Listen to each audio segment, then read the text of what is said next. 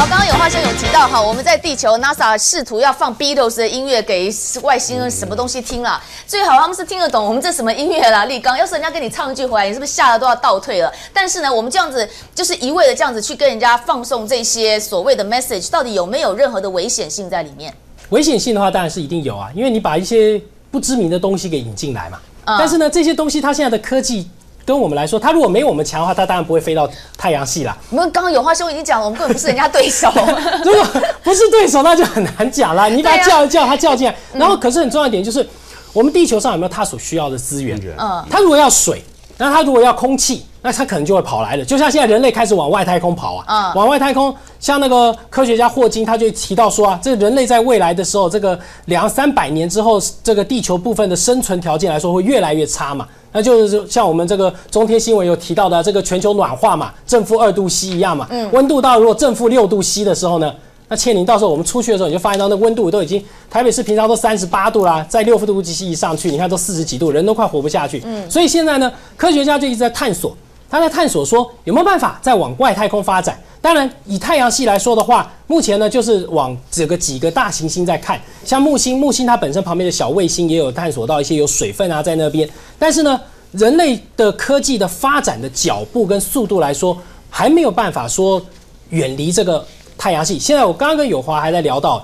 那个只有航海家二号一艘太空船，就只有一艘，一艘它离开了太阳系，已经进到了太阳系以外。所以呢，这艘船出去，可是问题是，它光那个讯号要传回来啊，它用无线电波传回讯号，那个讯号都一传，经过了整个太阳系的这个外以外再进来的天数，都是要好好几十天，离它离我们越远，它甚至是到了好几百天，那个东西讯号才能够传得回来。嗯，那相对的，你看从我们人类的发展脚步来说，你现在放一艘太空船上去，可能倩玲，你坐的太空船跑到上面去之后，你发现到你已经到了七八十岁的时候，你可能船还没有离开太阳系耶。对啊，那所以科学家目前 NASA 它有个计划，是准备要一批人要去木星去探险的。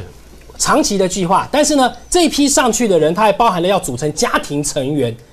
未来它上去的时候，包含了上面的食物供应、水啊、这些东西，还有包含了怎么植物的生长，呃，能够自给自足。之后呢，它能够甚至就能够到比较远的行星系。那因为我们的船的速度根本不够快，以现在自地球的这种呃引力的力量，在有月球一量把它抛出去的话，那个行驶的速度来说，虽然已经是音速三四十倍哦。但是对光速来说呢，我们的速度还太慢，所以呢，目前 NASA 的计划是长期计划，它就准备要打算把那个人类可能就是呃，也许两夫妻，也许好几对夫妻上了那个船之后，做一个长的计划，先是火星，再来再往火星以外的木星、土星方向来做一个探索，这是比较长的一个计划。所以有话兄，我们现在一直要往外太空的这个星那个星发展，是因为我们地球真的快不行了。应该这样子讲哈，这个 NASA 它长期以来都有登陆火星的计划，它这个火星的计划大概是六百天到一千天，但是真正在火星上面缩游的时间，就是观光游览，就是好比说我们去北极去那个南极，就是三十天。那换句话说，你要六百天到一千天把整个的火星哈，通通。就是把火星计划涵盖在里面，但是六百天到一千天只有三十天可以登陆火星。各位可以看看，这是二零零三年七月七日，这个 NASA 好将于哈二零零四年一月二十五日要成功登陆火星，这个是它的火星的计划。那火星的计划，他们大概大概有参与人数，就跟立刚刚刚讲的，就是。差不多也是一百多个，就是要有夫妻。各位晓得吗？当你在太空有六百到一千天的时间，你离开了地球，你要登上火星的话，六百到一千天，夫妻生活在一起，这个里面就是有两个我们没有办法克服的，一个所谓一千天不着陆的太空旅行，人类的精神能不能受得了？哎，这是一个。然后第二个。到了火星以后，你要怎么生活呢？哎，各位看一看，像这个是月球阿波罗十二号的那个、啊、照片。如果是人类都是这样子在火星上的话，你要你要玩个辛苦哎，你要玩个三十天的话，人类的精神体能，然后最重要的就是说，我们对火星了解也太少。你在一个陌生的环境当中，三十天能不能够适应，这也是一个很大的问号。所以现在 NASA 就是说，霍金讲的，两百年以内如果地球消灭的话，那对不起，我们两百年后就要到火星上面，所以他未雨绸缪，现在先用登陆火星的计划。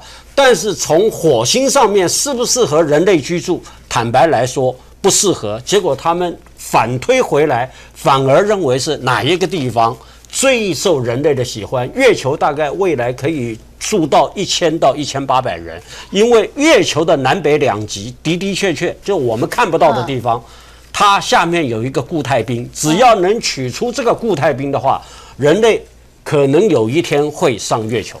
哇，所以江博士，如果我们要上月球，或是我们要上火星，但是外星人如果真的跑到地球来，所谓的那种我们电影里面看到，我真的不知道会不会是真的大举入侵这一类的，我们能够抵挡我们自己吗？不会怎么样。给各位看大举入侵，这是一九九六年哥伦比亚太空船拍到的地球旁边，你看这么多亮点。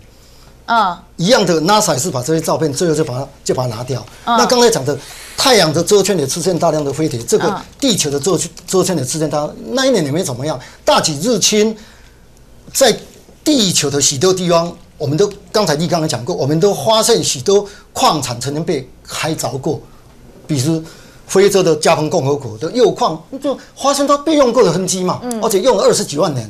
那有许多中东地区的矿产也被用过，证明他们以前就来过，是要我们的矿产跟资源而已。嗯，跟我们到外星球去找那些资源没有什么两样。嗯啊，所以它科技比我们高，它要毁灭我们的话，早就毁灭了。可是人类两个文明差那么远，不会无聊到人类。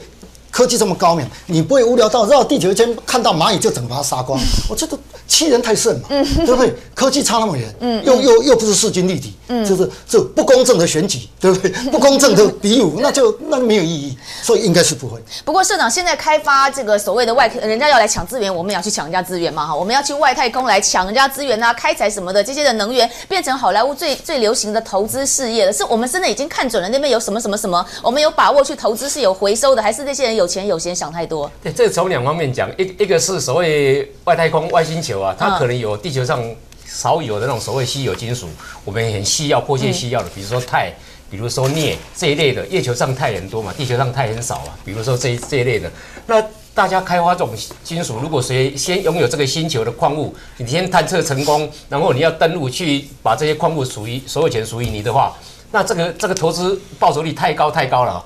那另外一另另外一个层面就是说，你如果可以到所谓外外星球去，万一真的外星球有所谓的生命，或者甚至有高科技的东西，你最先接触的人，是不是像罗斯威尔事件以后，你可以得到所谓的记忆金属啦，可以签订跟外星人签订什么所谓的魔鬼密约啊？你把高技术给我，我供应你什么可以可可以交换互相的一些个个别的优势嘛？个别可以交流就是。那我我特别先补充一下，就刚才在讲说，我们人类有没有办法抵挡外星人呢？